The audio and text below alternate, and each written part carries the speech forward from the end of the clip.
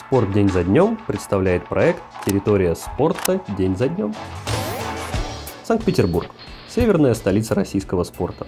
В каждом районе города есть площадки и арены, которые способны удивить.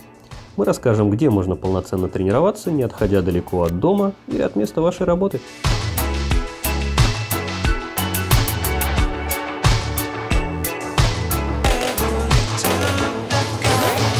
Огромная проблема петербургского парусного спорта состоит в том, что тысячи жителей мегаполиса просто не знают о его существовании. Не мегаполиса, а парусного спорта.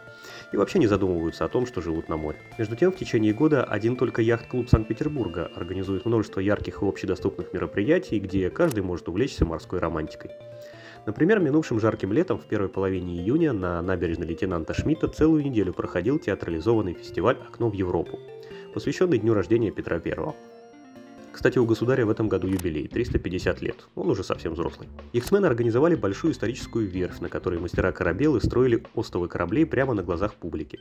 Естественно, были реконструкторы и костюмные абордажные бои. Все это вокруг знаменитого линкора «Полтава», воссозданного по образцам Петровской эпохи. А еще множество активностей, вплоть до игротеки, где любителям настольных игр предлагались настолки той эпохи. Кстати, сам Петр I обожал шахматы и обычно возил с собой походный набор, чтобы не скучать на отдыхе. Так что наверняка с удовольствием сыграл бы с гостями фестиваля по случаю своего дня рождения. Такие фестивали – самый простой способ привлечь внимание полностью стороннего зрителя, ничего не знающего о яхтах. Многие побаиваются ходить на настоящую морскую прогулку, дескать, море, мало ли, плаваю плохо но мало кто откажется от возможности прокатиться на гребной шлюпке или настоящем корабле во время праздника. В этом же году прошло десятилетие знаковой для Петербурга регаты «Оптимисты северной столицы». Знаковая она потому, что для сотен яхтсменов региона именно эта регата становится самой первой в жизни.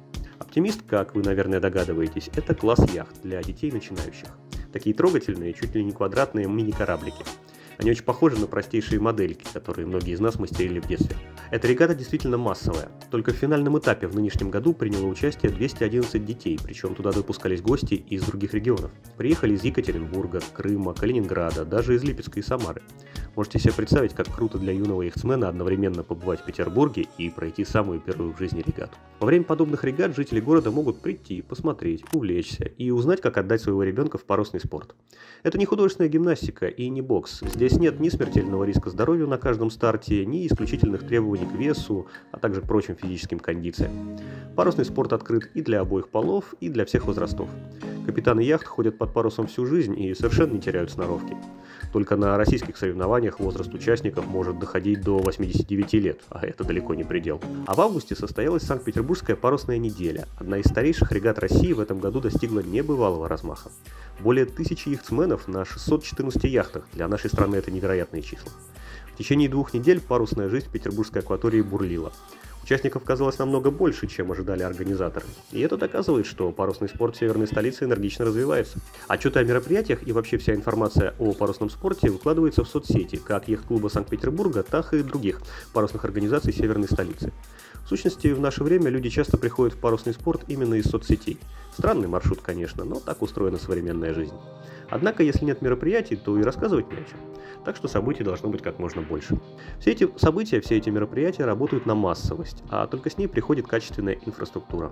Яхтсмены справедливо жалуются, что на российской территории не хватает парусных стоянок, станций и сопутствующих условий, но все это приходит только с массовостью. Когда яхтсменов в России станет действительно много, они смогут легко достать все, что им нужно. Осталось добиться этого.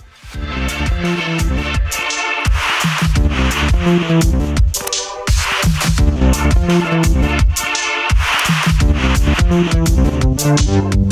Música